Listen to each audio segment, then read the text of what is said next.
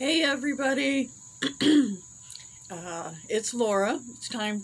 Uh, today we're going to do a conversations of support uh, little chat. Um, I'm going to do this off the cuff. Uh, I don't know exactly what I want to say or how I'm going to say it, but we're going to chat just a little bit.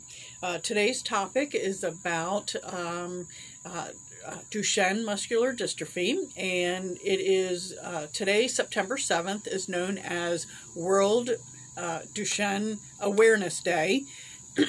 and you may wonder, be wondering why that's important to me and why it should be important to you.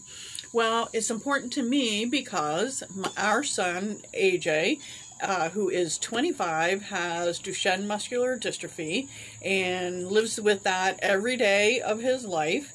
And um, we live with it every day of our lives. Um, there's going to be good days and bad days throughout this. Um, I'm not going to go into all of the uh, scientific special, you know, information about Duchenne. I'll post that separately uh, on my page if you want to take time to look at that kind of information as far as like how many one in whatever number of boys end up with Duchenne. But Duchenne is a genetic um, disease that is on the X chromosome.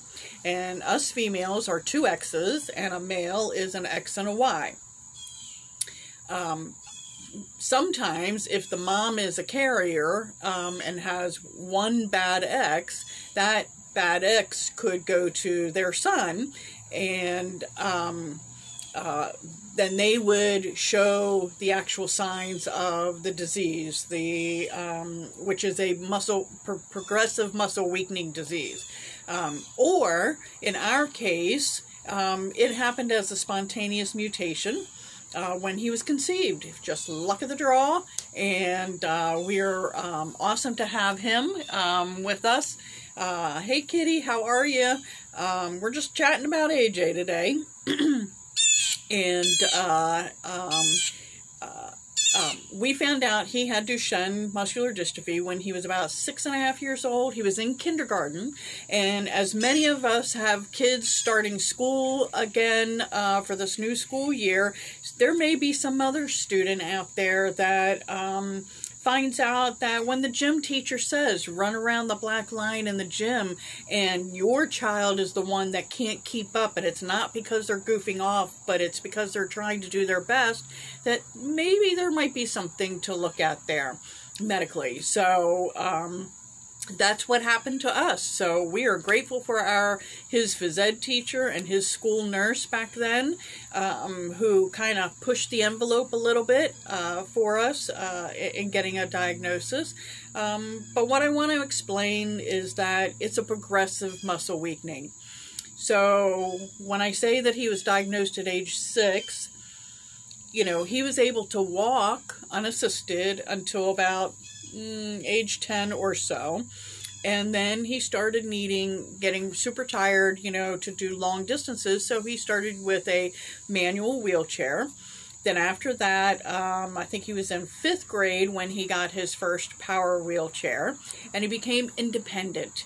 That power chair was a sign for him that he could keep up with his classmates you know, for us as parents, it's hard to see our kids have to need and use special equipment just to survive, just to um, do anything um, in life, go to school, um, be at home, whatever it is.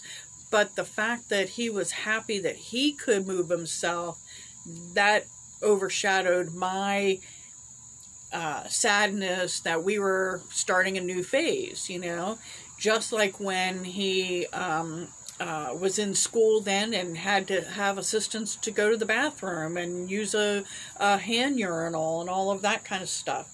Um, we have built and we uh, are still uh, very uh, good friends with many of our school nurse friends um, that helped him throughout all his ages uh, when he was in school.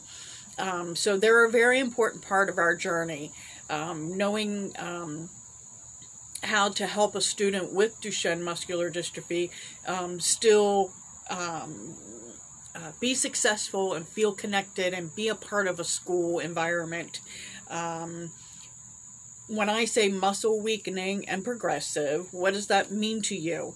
Um, for us, it meant that um, he had he lost the ability to walk first, but um, that lasted. That was the only thing that he lost for quite a long time.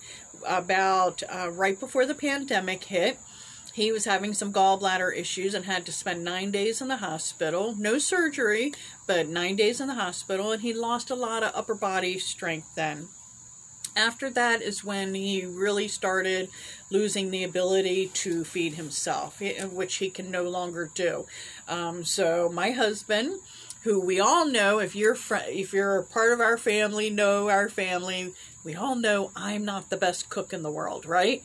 So hubby, Jim, dad, is the one who does the cooking, and he then um, uh, sits and feeds uh, most of the meals to AJ. Um, I think it's a guy thing. The guys like to hang out together. Um, so, uh, but in a couple of weeks, y'all can be um, keeping us in prayer because uh, I'll be in charge of the feeding and the and making of the food. so AJ will probably uh, complain about that uh, because hubby has a work conference that he has to do soon. And uh, so, um, you know, that's a big change when you can't feed yourself and you rely on your your parents to do everything for you to help you to go to the bathroom to take a shower to eat um, um, to scratch your head. He hasn't been able to give us a hug in oh gosh i don't know how many years. I, i've probably forgotten what it feels like. Um, i can still hug him of course but uh, it's it's a it's a challenge and not many people truly understand what it is our family uh, deals with and the fact that we did it for so many years while both of us worked. Um, now both of us are retired and he is our full-time job. And um, hey miss dawn how are you um, I'm just sharing information today about a little bit, a little peek into our life of uh, having a child with Duchenne muscular dystrophy because today is World Duchenne Awareness Day. And awareness just means that we're just trying to make sure that those words mean something to somebody that you can go, oh, I understand what muscular dystrophy is. And uh, Duchenne, that's an interesting one, right? Well, there's like 40, 43, 40 something uh, um, different types of muscular dystrophy out there. And we've got friends with several different kinds. But the one that impacts our son is called Duchenne. And um, it also affects your body in ways that you might not think that is a muscle, but your heart is a muscle. So we worry about his heart function. Um, knock on wood, so far he's doing pretty well. Um, it also affects your lung uh, ability to function. Um, he has just now started in this past year during COVID using his BiPAP um, pretty much most of the day, um, uh, not just at night now. And uh, um, it took him a long time before he even got to the point he just started using the BiPAP and then um, he felt like it helps him breathe a little bit easier if he uses it. So, you know, again, when I talked about um, it's harder sometimes for us as the parents to know that our child now requires another piece of equipment just to survive. And, um, but, but knowing that and encouraging him to use it and not be afraid of it needs to outweigh my own feelings about these pieces of equipment, right? So um, the fact that he's willing to wear it now and use it and ask for it means a lot to us. Um, now, now we're into the point in his progression of this disease that you know some of his equipment requires electricity. So you know what? When we get big hurricanes or um, any kind of tornadoes whatever kind of um, uh, storm that might knock out our power we need to you've got out, mail. um, how we're going to um, uh, make sure his equipment works. So we have purchased, you know, a portable battery pack that's going to last uh, several hours for us. And uh, um, hey, Aunt Vicky, how are you? Just sharing information about AJ, and uh, because it is World Duchenne Awareness Day, and so I just thought I'd share a little bit about our life uh, um, with uh, having AJ and Duchenne and I'm talking about how you know he uses his BiPAP um, more, um, and truthfully, because of of the pandemic, we haven't gone out of the house. He doesn't um, he doesn't want to leave the house uh, and be around others right now. Um, he's he's always been a bit of a hermit, so it hasn't been a too big of an adjustment for him to do this. Um, he goes, he he he wishes he had been in school uh, um, last year so he could say he was made for virtual learning. But unfortunately, he's too old and he had to do regular school his whole time. Um, but that that's another part of that journey. That while he was in school, you know, he made some friends. Uh, only only less than a handful, two or three, uh, have actually kept in touch and actually have tried to visit. There's only a couple uh, that actually visit on a fairly regular basis with him. Um, he can't text on his phone anymore uh, as easily. So, you know, think about those kind of things that your child can do or you can do that he can't do. Um, what he uses for us uh, to get hold of me now that he can't text on his phone and reach for his phone um, hey, Miss Wendy. Um, he he. We have one of the Alexa dots in his room, and it has all his contacts in it. And he can say, "Call mom" or "Call dad," and it makes my phone ring. And I, all I need to see is the caller ID that says his name and uh, we hang up. He hangs it up. We don't even talk. Um, I know he needs me, and I go into his room. You know, so we've had to come up with other ways to communicate um, uh, when I'm not right there with him. And we all know I don't hear super well. So I'm not going to hear him calling for me. So that's why it's best if he um, rings my phone, you know, if I'm not in the room with him. Um, and that's how he um, calls us in the middle of the night.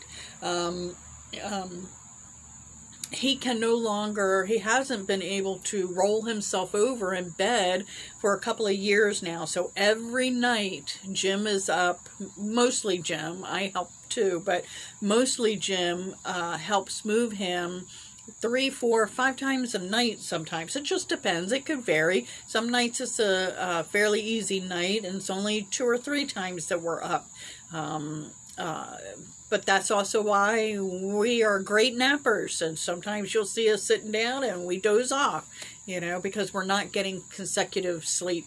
Uh, so, you know, Duchenne, um, is there's been a lot of good that has come out of it. I've made some great friendships, uh, me personally, with connecting through Facebook friends and family, um, my community, my Harford County friends um, that I've gone to worked with. Um, uh, do volunteer in the PTA work with, and all of that are always so encouraging. Our family is so encouraging and supportive. Um, but to be able to connect with other families throughout our country, throughout the world, really, um, has been a special, unique opportunity that otherwise I would never have had. Um, uh, it's amazing how many of us are out there. Then there's the flip side of it, is that sometimes we feel, I will feel guilty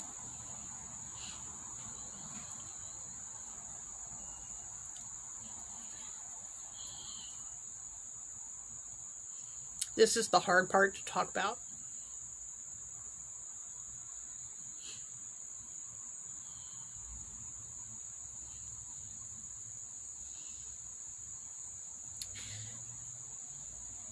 I will feel guilty that we still have AJ.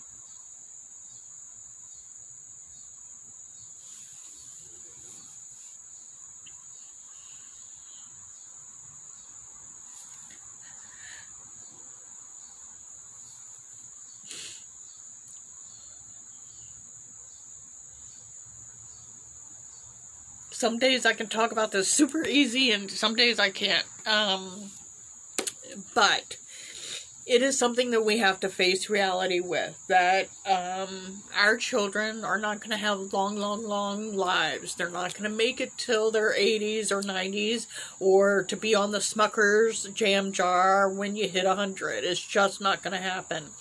Um, but there's a little bit of that survivor guilt when you know you have friends that have already lost their kids. Um, especially at younger ages, uh, um, in their teens and all of that. Um, and you wonder, why is my kid still here then? Um, but on the other side, I want I want to say we're so encouraged to know that some of our guys are living to be 30s, 40s, and 50 years old. Um, so it's not impossible that he's going to have in ter- in Duchenne terms, a long life.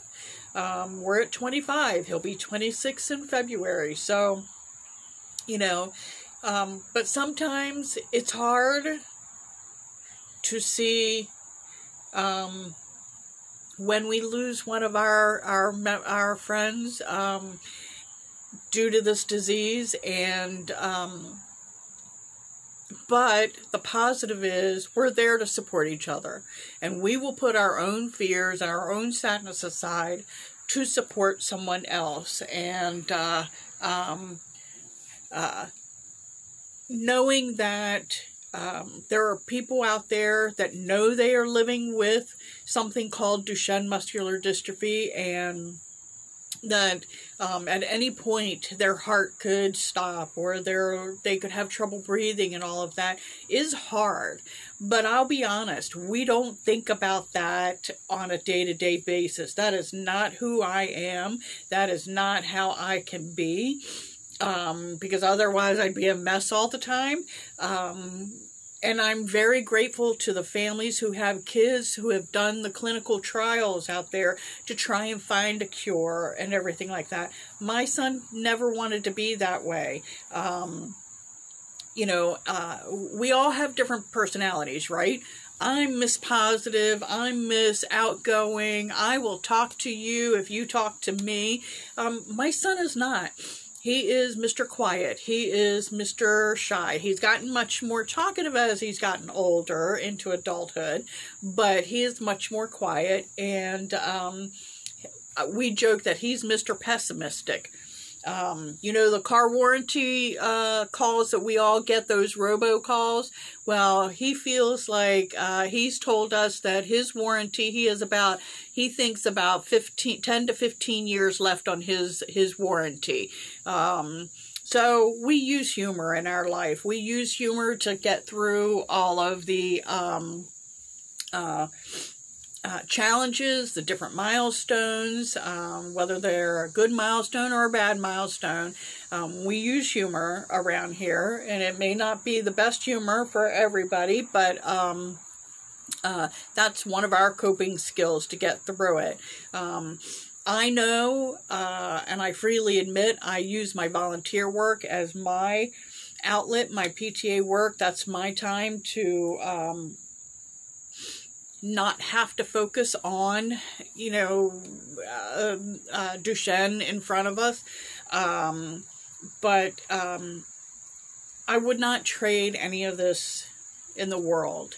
And I am forever grateful that we have the kind of awareness that we do, but we can always have more. And that's why I decided to come forward and talk about it today. Um, I'm trying to get back into doing some of my chats and things like that. But today is an opportunity for me to share with you what Duchenne is, how it affects. I'm going to post um, uh, some more factual pictures about it um, and some old posts that I've done in previous years that I do love how Facebook shares that with me so I don't have to retype it all but I didn't have the energy to type it all out today um, because sometimes my creativity is is struggles with that.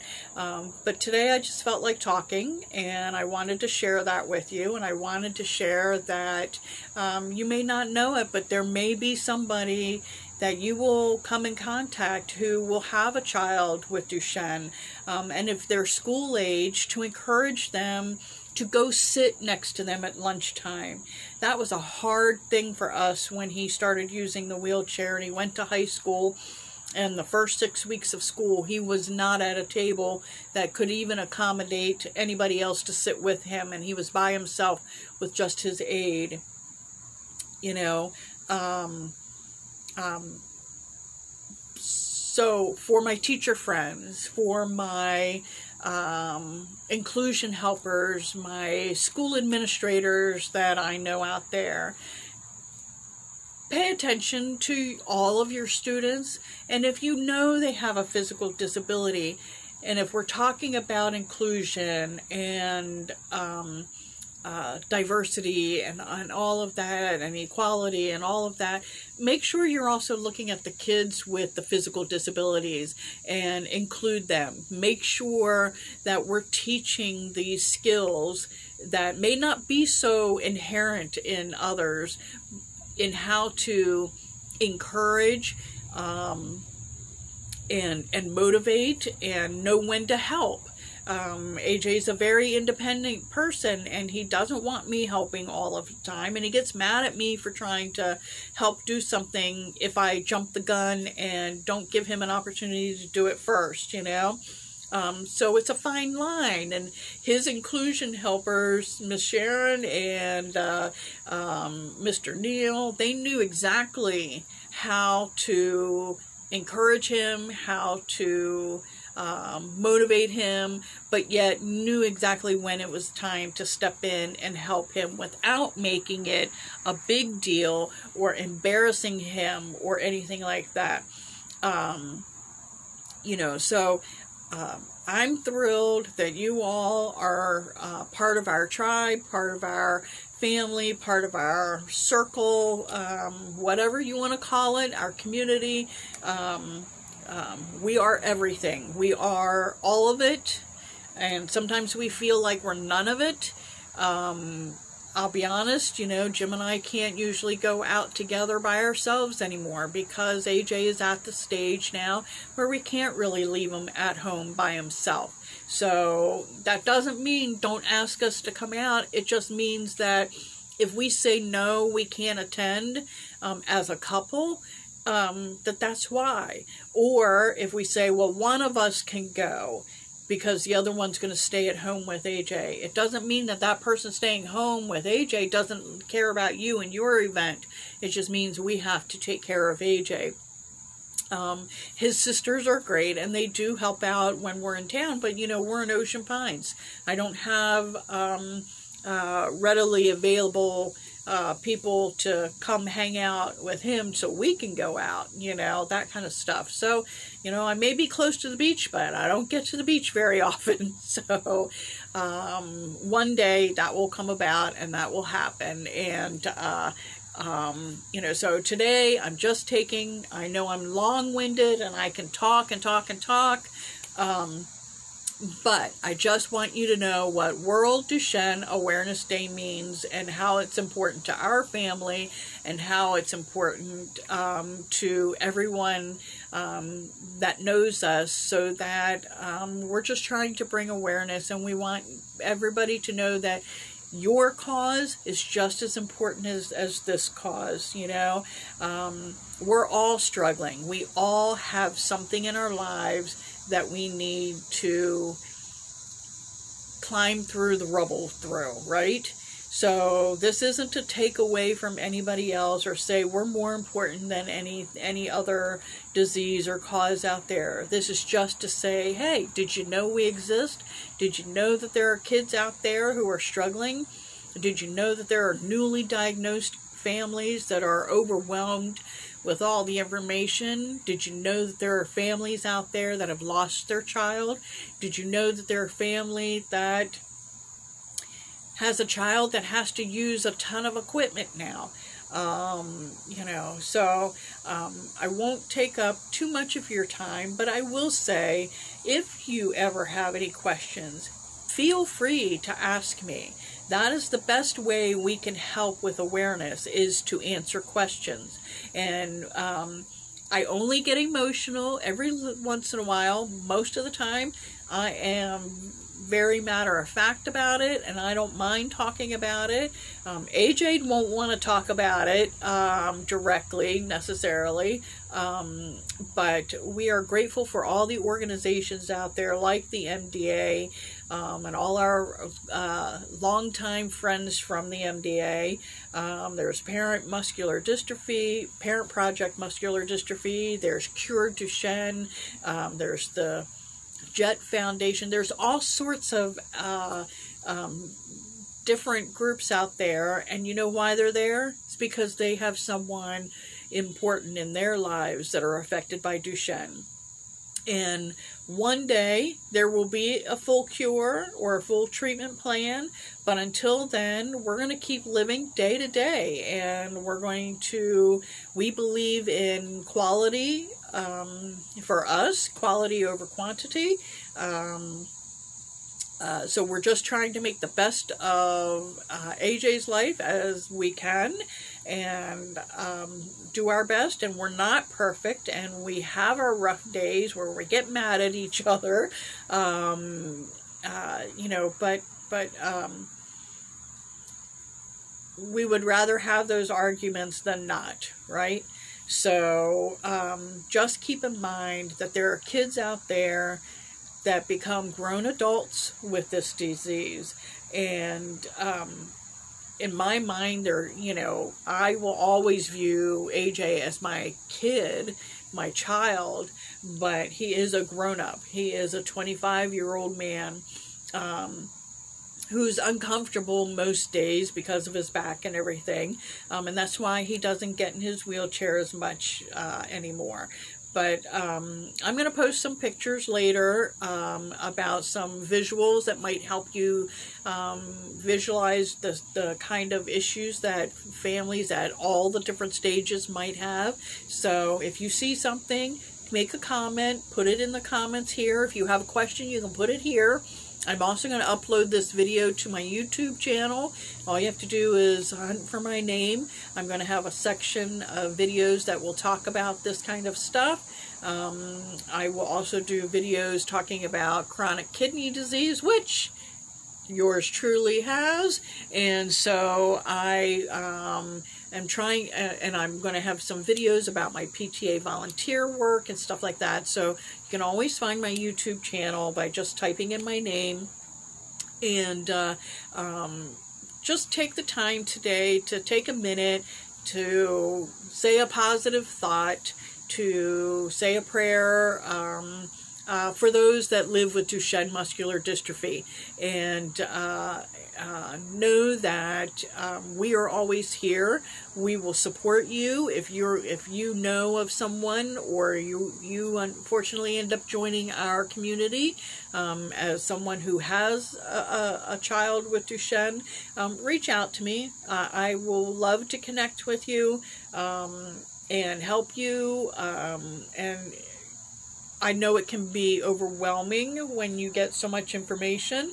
Um, but, you know, on the bright side, AJ did graduate from high school. He already defied one of the odds when we were told when he was first diagnosed at age six that he might not make it to graduation, and he did.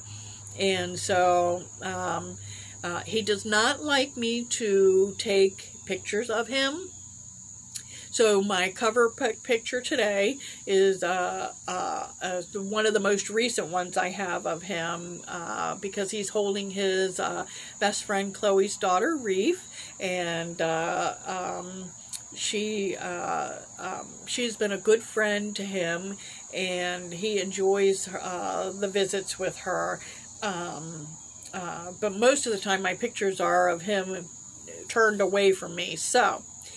Uh, um, I'm always so envious of all you moms and dads out there who get these great, awesome pictures of your kids, no matter what their abilities. Doesn't have to be a, a Duchenne kid. Any kid who actually smiles for their parent. I have to beg, plead, and bribe. No. Um, uh, AJ is just a quiet kid. He does not want to be the poster child for any cause.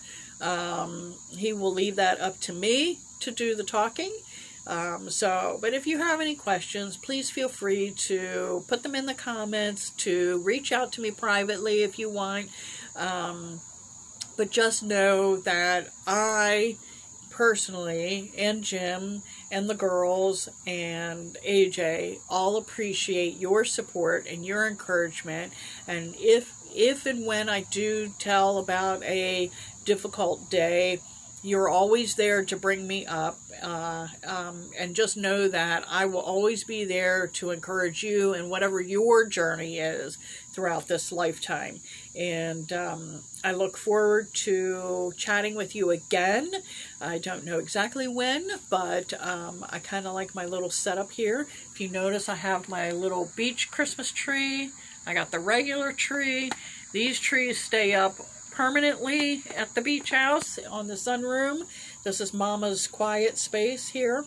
So, um, uh, on that note, I'm going to let you go because I've probably talked way too long. But like I said, um, I just wanted to share a little bit about our lives um, and uh, how it's a little bit different than it was several years ago for us. It's a bit more of a challenge. Um, but we're still doing it and we will keep doing it for however long uh, God blesses us uh, with this journey. So, um, uh, have a wonderful day to all the kids getting ready to start school tomorrow uh, in Harford County. Uh, good luck. Good luck to all my teacher friends. Um, uh, Worcester County, where we are, uh, they just went back today, so I'm sure my neighbor is enjoying the fact that he has a couple of hours of quiet time too. So, um, but um, I might do a video later uh, on education and Duchenne um, and our experiences. But uh, until then, have a wonderful rest of your day. Thank you for taking the time to watch some of it, all of it, or none of it. Um, but I'm just uh, proud to be a part of this community, um, the, the Duchenne community of family and friends um, has really made a big impact on, on my life and how we support one another. So um, I will see you all later, okay? Have a wonderful day and blessings to all of you. Thanks. Bye.